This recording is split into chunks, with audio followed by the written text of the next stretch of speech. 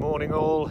Um, just thought I'd uh, post this up. We're, we're at Binstead Football Club this morning for the RTC. Uh, my son has challenged me to launch a YouTube channel um, to talk about coaching and to show some of the stuff that I do as a coach.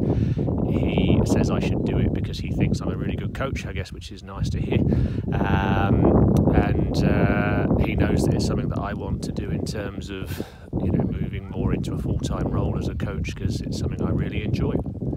So today, uh, today is football. Um, normally I'm coaching rugby, uh, but I mix between the two. So I coach Haslemere, uh, Haslemere rugby uh, for the first team seniors, but I also do uh, the under nines on a Sunday. Um, so Haslemere sit in Surrey four, and we've got some good ambitions to get up to guess in the in the short term at least into Surrey two. Um, so we're just building a squad, building a culture, and, and trying to develop um, the, the rugby being played at Haslemere. And then I also coach football for Haslemere um, in the under 11s this year, um, and you know, that, that is also just a lot of fun. Um, and uh, that's a team I've coached for a couple of years now. They're doing really well. They enjoy their football, but it's a real tight group um, of kids that just get on with each other, enjoy their game. Um, competitive, but it's all about social, um, social interaction and playing with their mates. Uh, and a lot of them only come to the sessions really because of the fact they get to spend that time with their mates. So, um, you know, what we try and do is build that into the sessions. It's the same with the rugby. Yeah, we're trying to build into the sessions that it's fun, it's enjoyable, and uh, they they play a, a, style of rugby but that I look at as smiley face rugby. If you are not enjoying it, you are not not playing your best. If you're smiling and enjoying your rugby and putting everything in, um, you're going to play harder, you're going to play better, and you, you're going to get more out of it. Anyway, I'm going to go and see what's going on with the coaching here at the, at the Talent Centre. Um, I can see they've started off with Rondos, which is quite common. Um, gets the boys moving gets them uh, gets a bit of decision making going on, but also gets a bit of communication going as well. So it'd be good to see the rest of the sessions. We've got about an hour and a half here, uh, and I'll check in with uh, I'll check in with Joseph as he goes through it, see how he's getting on. All right, see you later.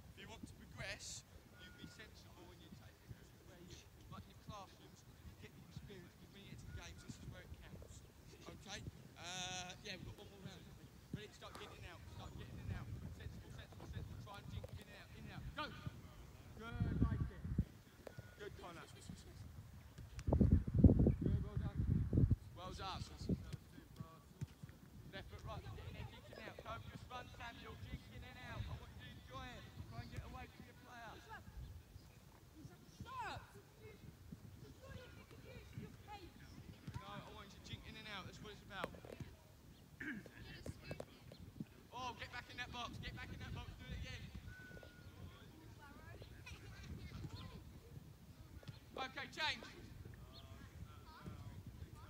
Do we think we're bright enough to do this? I'm mad doing it. Right, let's give it a go. Let's give it a go. I reckon I'm mad doing it, but let's give it a go.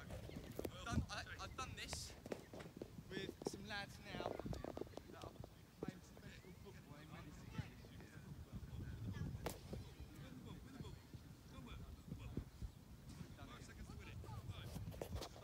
Start off with the easy one, and I'll see if I can get you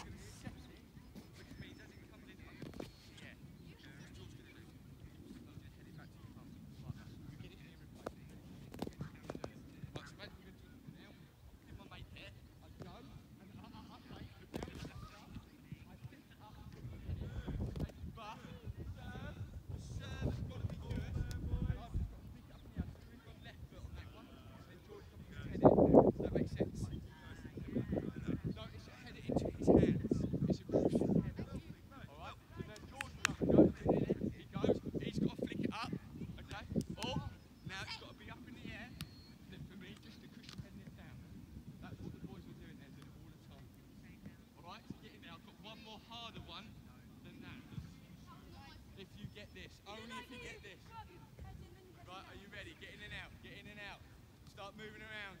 Start moving around. This is about quality and timing of runs. Go! Okay, liking this one. So he's set them with a challenge that he's told them is quite difficult, but he's given them an objective that if he if they can if they can clear through this level, there's another level.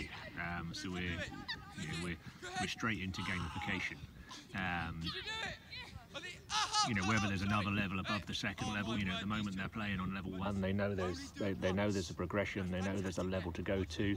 Um, you know I don't know if there's a boss level above that but uh, you know they've they've been told they've got something that's a challenge.